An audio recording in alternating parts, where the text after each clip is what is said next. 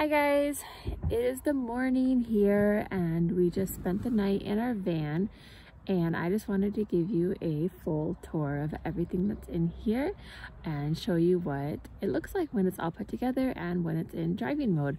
So let me tell you about the van first. So it's a 2018 uh, Toyota Sienna and we built it so that it could sleep not only me, my husband, but also my daughter and my son which means they also needed to have space in order to sit while we are driving.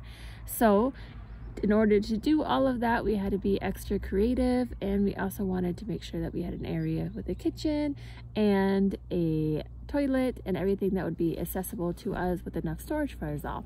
So that was the main requirements for our van. Oh, other than the fact that everything needs to be able to be taken out and put away and the van be put back to normal without any trace whatsoever of there ever being a van built because I didn't want to drill anything or anything like that in here. So let me go ahead and show you where I woke up and then I will show you the van.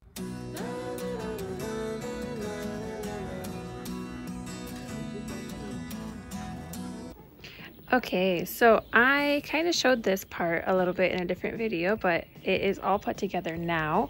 And I kind of just want to go through all the details with you so you can see what there is. Um, so you can see on top, we have a cushion and this is for my daughter's bed because she actually will be sleeping across the top here. And this little like table type thing here will open up and it will spread across this open gap area to fill that in for her bed. And then in this area, we have our little bucket toilet that we use just for emergencies. Um, and behind it, we have just a bunch of different things for our kitchen and our toilet. So some toilet paper and soap and whatnot. And even a mirror, which is always nice to have when you're brushing your teeth. And behind this little table area, there's like a cubby. It's kind of hard to see, but back there is just our stove and some stuff for the toilet. And then over here, we have our kitchen area. So you can see we have a sink, which is uh, used with the submersible pump. We have it wired to our battery. We just turn it on and we have water. So we use that switch just to keep it from going off when we don't want it to. And then underneath here is our water tanks. So we have our fresh water and our gray water tank down here. And that's pretty much all there is there. Um, so let's just move this cushion. So under here is just a little storage area where we can store our fuel and our spices and different snacks and whatever. And that's all that's in there. And then over here is our fridge. You can see the vent down at the bottom. And what we can do is open the top, which will cause this little counter to fall. But we can open that and access our fridge. And this is just a Dometic thermoelectric cooler and it holds a lot more than I was expecting so that's good. And then this like I said is just a little counter for cooking or cutting things or whatever. And I can also use the surface on top for prepping food and all that. Underneath our fridge we have a little shelf that just has this uh, cutting board and a little Tupperware that holds just different kitchen items like bowls and utensils and coffee and whatever else. And the shelf is actually removable. So that way we can access underneath.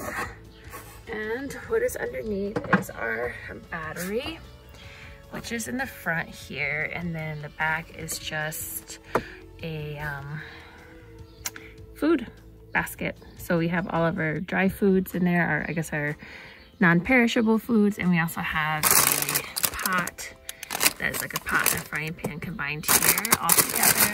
So it's very convenient. It's easy to get to for the most part. And then over here is uh, an inverter that we use. This one is just connected to our battery maintainer to charge our battery while we drive. And we also have another um, European style inverter in the back, which is plugged into a um, couple of different like extension cord sockets, and that's where our refrigerator is plugged into. And one other thing that I wanted to point out was um, behind here, this white stuff is actually like a waterproof tablecloth fabric that I found and we just put it on the back of the seat just to kind of keep it from getting wet or dirty because you know there's water in a toilet back here so and we also have this uh, curtain which is just being held up with a bungee cord that goes across our grip bars. And this is just for privacy if we are using the toilet. Um, we're a family of four, so you know, privacy is always nice to have.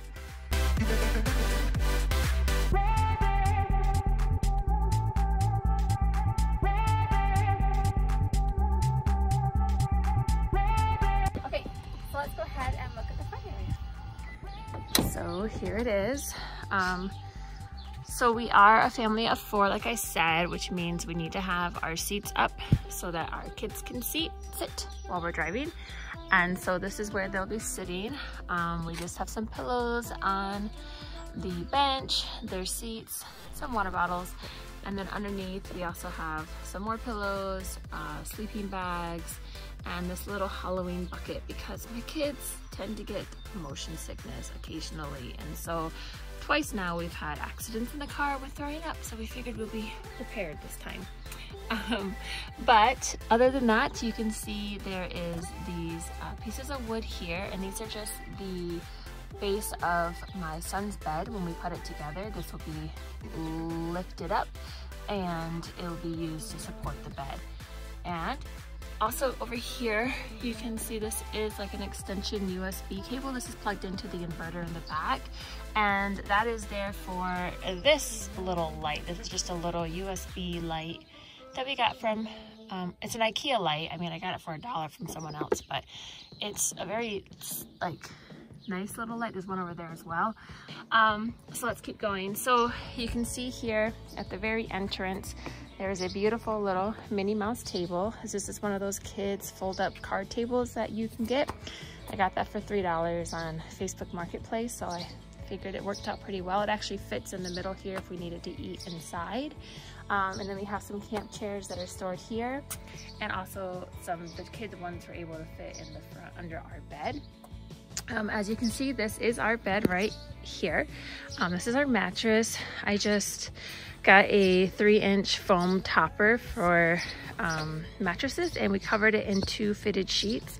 And on the one, I put this elastic onto it so that it doesn't like come off while we're driving or using it. And behind the table here, everything falls out, sorry. Anyway, behind the table and chairs underneath the bed, there is a bin, and this is just a bin for storage. Um, we have the kids' sleeping bags are inside of here, and then under all of that, you can see, are their clothes and different items. So this is my son's and daughter's. Um, and we're able to fit quite a bit in there, surprisingly. So that's what is in there. And there's another one on the other side for me and my husband. And I will go ahead and show you what it looks like from the other side. Okay, this is the view from the other side. So this piece of wood is my son's bed and it's just attached to his cushion or his mattress that he uses when he's sleeping on it. Um, and I will show you a picture of what it looks like when it's put together.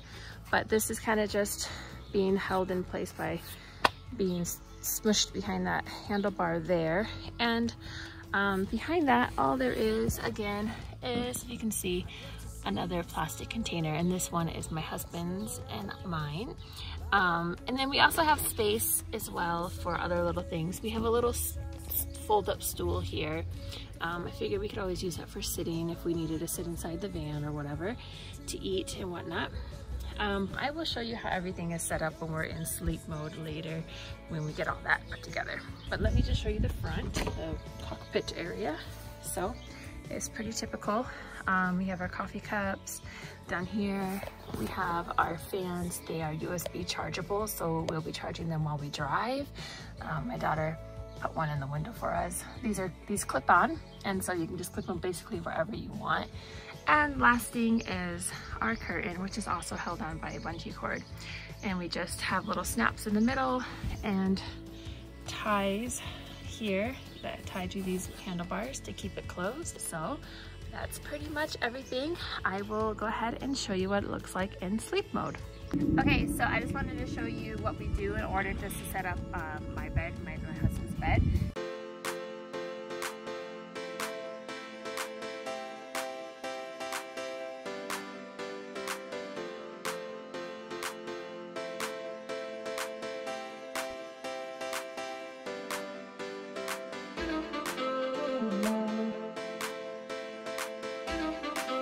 All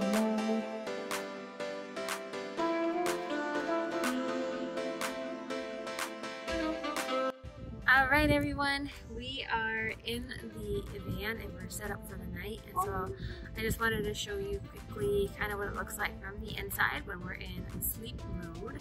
Um, we're kind of doing this a little bit, trying to be a little stealthy. We can't say we were 100% stealthy when we're setting things up. But for that reason, I'm not going to get out of the van and show you everything. I'm just going to show you how it looks from inside. Um, so let me turn the camera around so you can see. Right, so this is my son's bed.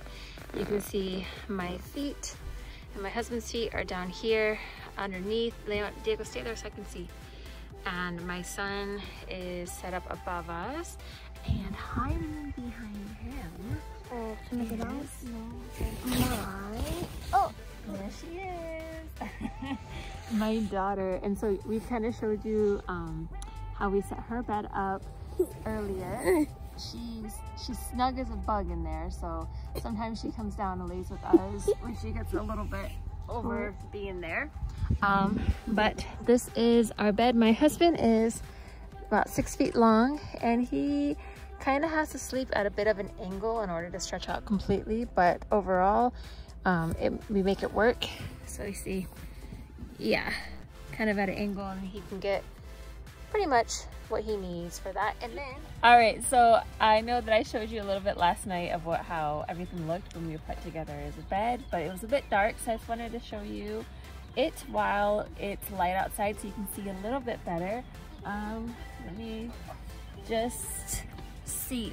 So like I said, this is where my husband and I sleep. My daughter joined us last night in the middle of the night as well. So we are all able to sleep on here, not as comfortably as if it was just me and my husband, but it works.